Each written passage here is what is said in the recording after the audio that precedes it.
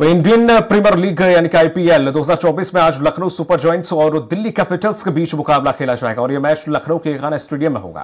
के एल राहुल की कप्तानी में लखनऊ टीम ने अब तक चार में से तीन मैच जीते हैं और ये टीम पॉइंट्स टेबल में तीसरे नंबर पर काबिज है। दूसरी तरफ़ ऋषभ पंत की कप्तानी वाली दिल्ली टीम टेबल में सबसे नीचे है और उसने पाँच में से सिर्फ़ एक ही मैच जीता है। लखनऊ टीम का यह तीसरा आईपीएल सीज़न है। उसने 2022 सीज़न में एंट्री की थी, तब से लेकर अब तक लखनऊ और दिल्ली के बीच तीन मुकाबले हो चुके हैं, मगर हर बार दिल्ली की किस्मत खराब ही रही है। लखनऊ ने हर बार उसे रौंदा है। इस बार ऋषभ पंत की कप्तानी में दिल्ली टीम यह इतिहास बदलने के लिए उतरेगी। और अधिक जानकारी के साथ हमारे साथ जुड़े हुए हैं घनश्याम लगातार। घनश्याम कैसा मुकाबला देखने को मिलेगा और क्या कुछ तैयारियाँ?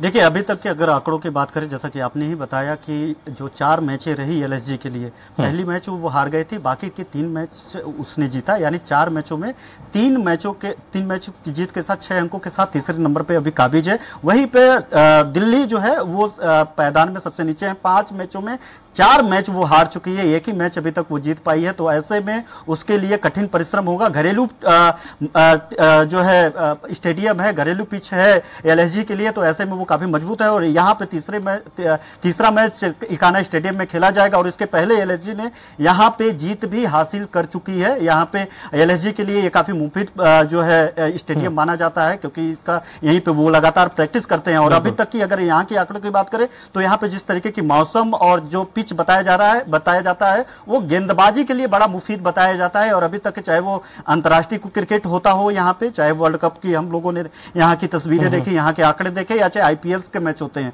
यहाँ पे गेंदबाजी के लिए बड़ा मुफीद पिच ये मानी जाती है। ऐसे में कुलदीप यादव जो है वो घायल हो चुके हैं डीसी के तरफ़ से। तो ऐसे में डीसी के लिए एक बड़ी समस्या सामने आ गई है। उनके लिए बड़ी आफत समस्या आ गई है कि वो किस तरीके से इससे निजात पाएँगे एलएसजी के लिए किस तरीके से चुनौती बन पाएँगे, क्योंकि एलएसजी का विजय रथ पिछले तीन मैचों में लगातार जारी है और ऐसे में चौथा मैच जीतने के इरादे से उतरेगी और डीसी अपनी खोई हुई वर्चस्व वापस पाने के लिए अपनी अंक तालिका सुधारने के लिए इरादे से वहाँ पर मैच में उतरेगी। और लगभग अगर यहाँ की बात करें ये तो आंकड़े की बात हो गई। अगर यहाँ की बात करें, बारह बजे से ही डाइवर्जन कर दिया गया है। जो स्टेडियम है, स्टेडियम के आसपास शहीद पथ लगता है वहाँ के रास्ते।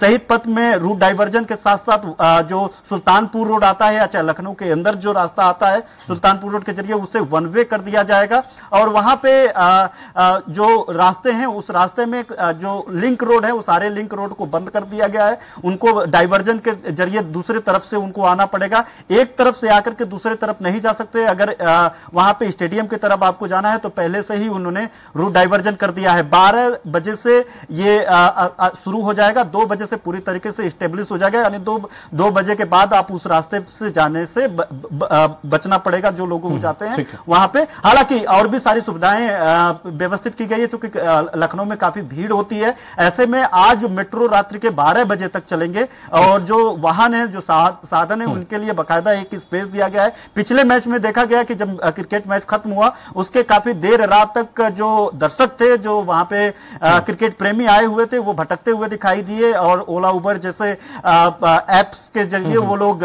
अपनी गंतव्य तक जाने की कोशिश कर रहे थे वो कोलैप्स कर गया था। ऐसे में वहाँ पे एक छोटी सी जगह भी बनाई गई है कि जहाँ पे टैक्सी वहाँ पे रह सकता है वहाँ से टैक्सी बुक करके अपने गंतव्य के लिए लोग रवाना हो सकते हैं। पुलिस ने साफ़ तौर पे कह दिया है कि वहाँ पे उस एरिया में जाने से बचे और वहाँ पे जो वनवे है वनवे के अलावा जो रूट डाइवर्जन है उसको फॉलो करे। तो पूरी तरीके से वहाँ पे व्यवस्था कर दी गई है। हम्म। क्रिकेट की बात करें तो क्रिकेट में इस बार जो है इतिहास रचने के लिए एलएसजी अपने अंक सुधार के लिए दूसरे नंबर के लिए यहाँ पे उतरेगी। जी तमाम जानकारी साझा करने के लिए शुक्रिया आपका घनश्याम निशान चौरसिया। तो ये थे हमारे सहयोगी घनश्याम जिन्होंने जानकारी दी है कि आज दोनों ही टीमें जीत के इरादे से उतरेंगी और जिस तरह से पब्लिक को देखते हुए रूट डाइवर्ट किए गए हैं जिससे कि आम जनता को भी परेशानी ना हो।